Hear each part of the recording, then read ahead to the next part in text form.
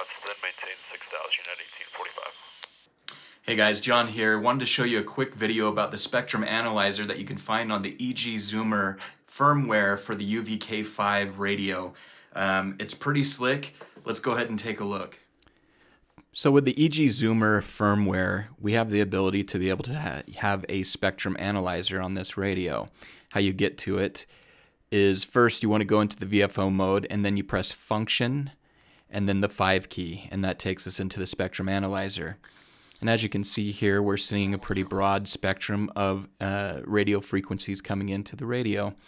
And what you can do is you press the 4 key, and that will cycle between the amount of bandwidth that you're able to see at any given time. And you can see those upper and lower frequencies changing as I'm cycling through these various amounts of bandwidth. And what it allows you to do is see more and more frequency at a given time.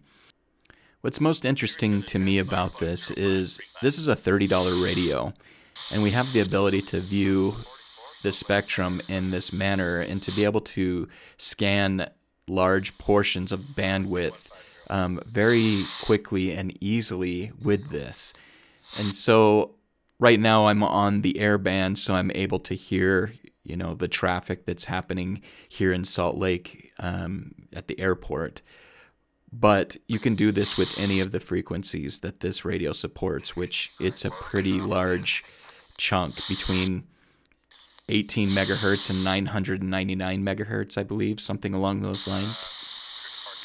But using the F key and the star key allows you to adjust the squelch level. So we can see the signals there. There's some pretty high peaks, and we can adjust how much we want to hear of the spectrum via that. Now, if you press the 5 like I did here, you can change the frequency. And what this does is it will change the bottom end of the frequency. At least that's what it seems to do as far as I can tell. And so as you adjust that, it changes where, where the band is at for you. Anyways, I'll leave a link in the description to where you can find out all the settings and the particulars of the Spectrum Analyzer in the wiki.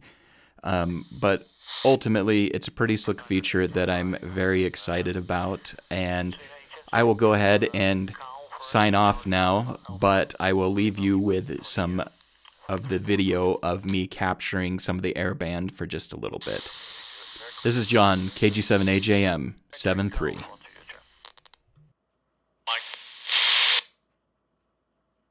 the 1-6 right, localizer, United 1845. Bearing 3034. 70 knots, then maintain 6,000 at 1845.